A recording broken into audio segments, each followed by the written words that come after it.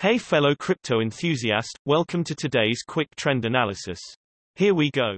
Today, find out how the price of Bitcoin has changed and what the technical indicators EMA, stochastic RSI and MACD show. If you are unfamiliar with the indicators, check out the explanation videos below. By taking a closer look at the hourly time frame for Bitcoin, the price went down only slight by about 0.8% in the last 24 hours and has a current price of 8,664. Moving to the hourly exponential moving averages, the current price is in the hourly ribbon, so it is to see if the price can break the resistance currently at around 8,674.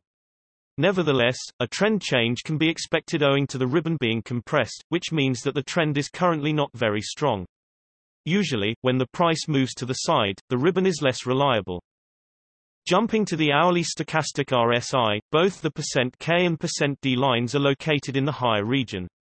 This means that the price is high due to overbuying and a change in the trend, or at least some kind of consolidation, can be expected.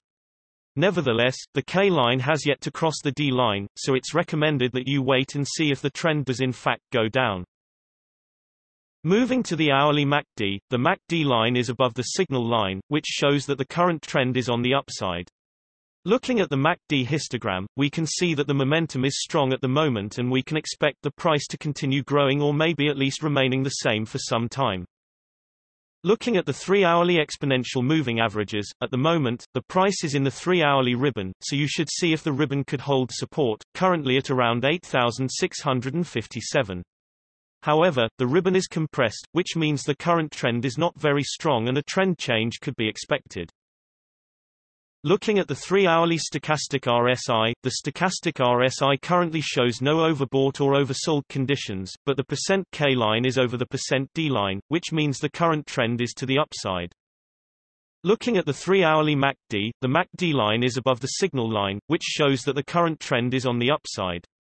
The MACD histogram shows that the momentum is currently indecisive so consolidation for some time or shifting the momentum could be expected and you should wait to see if the MACD line will cross the signal line, which will be bearish.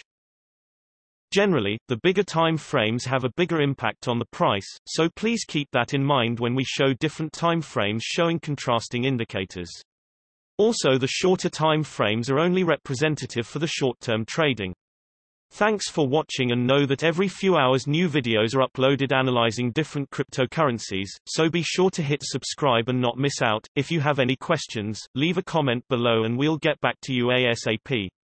Also, keep in mind that you should make your own investment decisions as cryptocurrency trading is very risky and these daily videos are only an overview of trends and are a purely technical analysis without considering the fundamentals.